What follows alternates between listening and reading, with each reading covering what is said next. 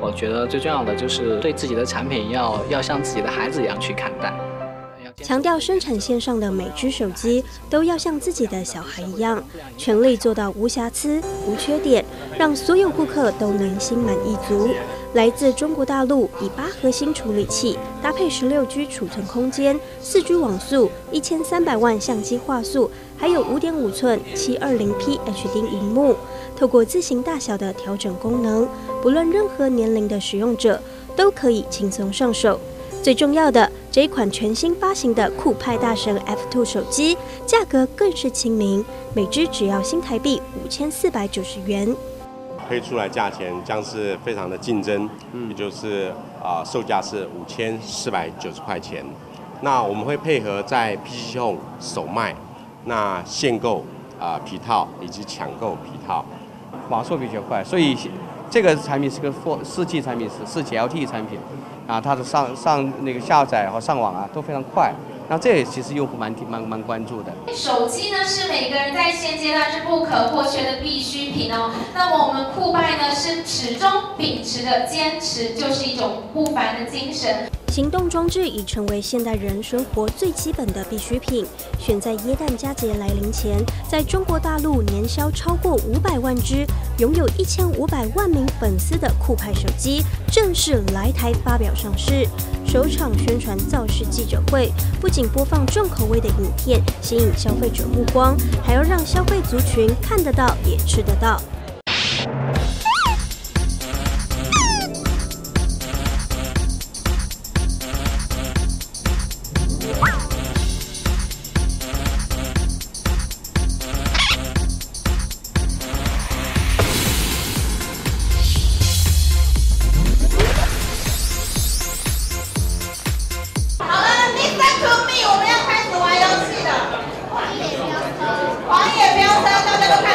在主持人的带领下，参与体验活动的三 C 玩家们开始将大神手机变成赛车方向盘。